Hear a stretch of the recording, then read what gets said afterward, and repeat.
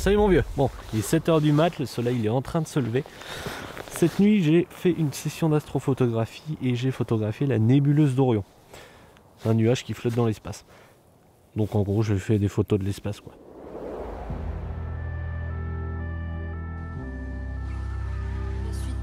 Édition spéciale après cette attaque terrible à Nice qui a fait au moins 80 morts et des dizaines de blessés, 18 sont toujours en situation d'urgence absolue.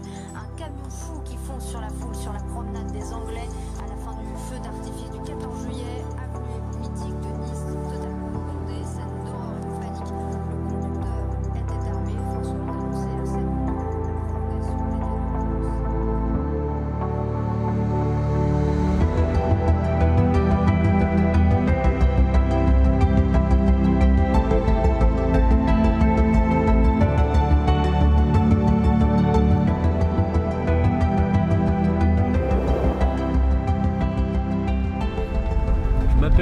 je fais partie de ces jeunes qui participent à l'exode rural de la France. Quand tu quittes une région qui t'a vu grandir et que tu vas travailler en ville, bah tu quittes forcément les lumières du ciel pour celles du centre-ville. Et j'ai besoin d'espace moi donc là je suis en train de me barrer. Ils annoncent un ciel clair pour ce soir donc je vais pas le laisser passer, ça fait trois mois que j'attends ça. Bon, ce dont j'ai besoin, c'est un télescope, un trépied, une tête motorisée qui va compenser euh, la rotation terrestre, un contrepoids parce que 10 kg à plus à trimballer c'est pas délirant, et une batterie qui est chargée et qui va me permettre d'alimenter tout ça. Là à peu près 40 kg de matos, plus ce qui est nécessaire au tournage. Donc là le projet, c'est que je vais monter tout ce matos sur le rocher. Euh, je vais morfler. Voilà, ça a aucun sens ce que je fais.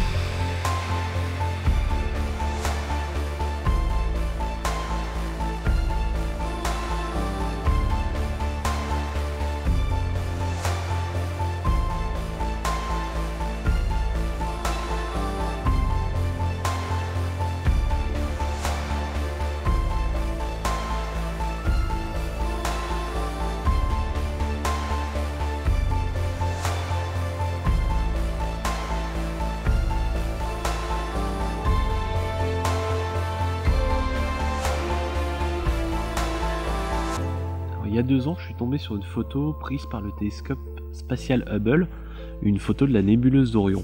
J'ai trouvé ça tellement beau, mais tellement surréaliste.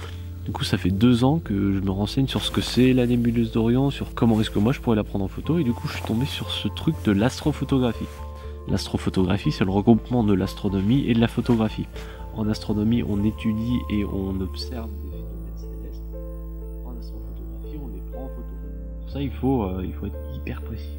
Et donc, il faut du matériel adéquat. Alors là, j'ai un télescope Explore scientifique avec un diamètre de 102 mm pour une focale de 714. Donc il ouvre à 7. Là, j'ai un Sony A7S2. C'est l'hybride le plus adapté à la photo en basse luminosité. euh, tout simplement parce qu'il a des gros pixels et qu'il y a une sensibilité de fou. Et juste en dessous, qui soutient tout ça, c'est une monture équatoriale qui va permettre de compenser le mouvement terrestre. Euh, là, je suis pointé sur Orion. J'ai fait ma mise en station, c'est-à-dire que la monture, elle sait où elle est. Donc, je vais régler mon appareil photo. Euh, mettons que je mette 30 secondes d'exposition. C'est-à-dire que l'obturateur, il va rester ouvert 30 secondes. Et en ISO, je vais mettre 3200. Je peux pas bouger l'ouverture étant donné qu'elle est propre au télescope. ok? Je lance la photo, puis on va bien voir ce que ça donne.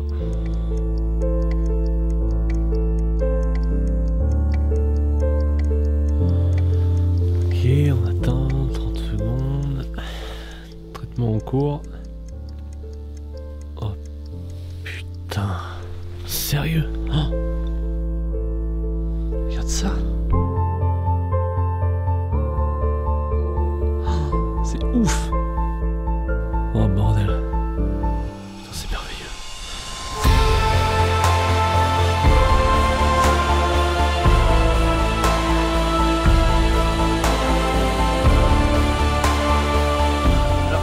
Je viens prendre ma première photo et elle est trop belle, hein Du coup, là, je l'ai lancé, il va continuer comme ça pendant ma- jusqu'à ce que la batterie elle soit, elle soit HS.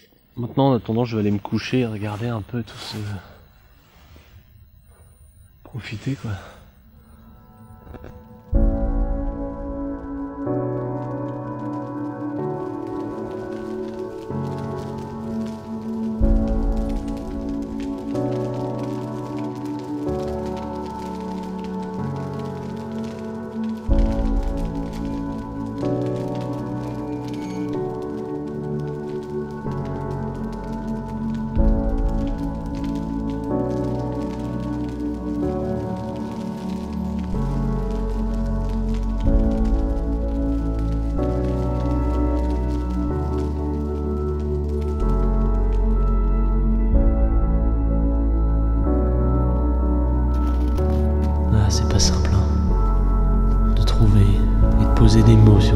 Sensation. On se demande même si le langage est assez puissant. Regarder dans un télescope, c'est regarder dans un miroir. Avec, on peut voir loin dans l'espace, loin dans le temps.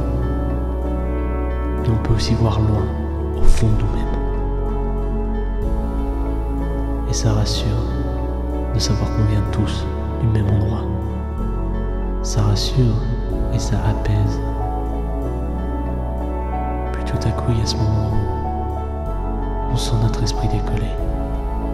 Nos muscles pèsent 3 tonnes, pourtant, on s'est jamais senti aussi léger.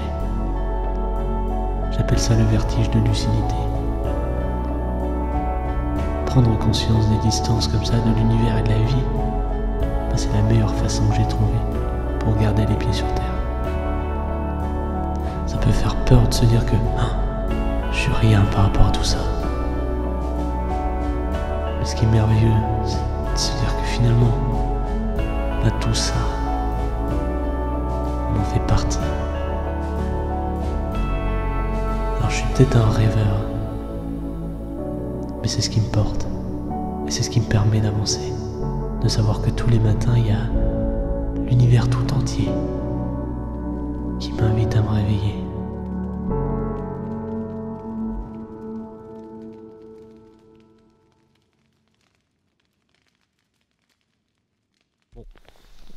L'avantage de la neige, c'est ça, c'est bah voilà, qu'on peut voir les traces de gimier. Donc là, on voit qu'il y a une petite bibiche qui est passée. Peut-être qu'on va la croiser, je sais pas. Ah, tiens. Ce qui lui est arrivé Un deuxième avantage avec la neige, c'est ça, c'est que ça reflète tellement la lumière que j'ai pas besoin d'éclairer. Jour alors qu'il est 5h30. Ouh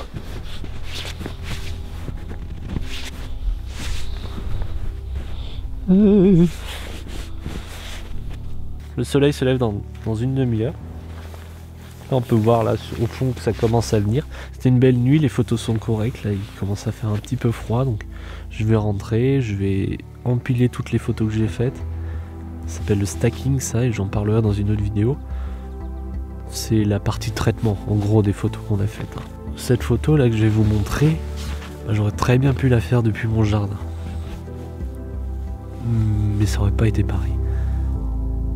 Si j'ai fait ça, c'est pour sensibiliser au merveilleux. C'est pour sensibiliser à tout ce qu'un astrophotographe peut vivre finalement. Si je l'avais fait dans mon jardin, ça aurait été un poil moins romancé, mais en vrai les sensations auraient été semblables. C'est-à-dire que j'aurais été là avec mon télescope pointé vers l'univers et vers l'infini, et ça m'aurait rempli d'espoir. C'est juste ça, parce que l'astrophotographie, c'est pas juste une photo hyper pointue, hyper technique et hyper précise. Il y a tout ce qu'il y a autour. Il y a des mecs passionnés derrière ça. Donc si j'ai fait tout ça, c'est pour faire exister une photo, qu'on comprenne que derrière chaque photo, il y a quelque chose. Il y a une histoire. Là, ça fait trois mois que j'attends un ciel dégagé et du temps pour passer une nuit comme ça. Et crois-moi, l'hiver, c'est hyper frustrant. Mais ça vaut le coup. Ça vaut tellement le coup. T'es là, t'es couché, t'es face à l'infini. T'entends rien, c'est le silence.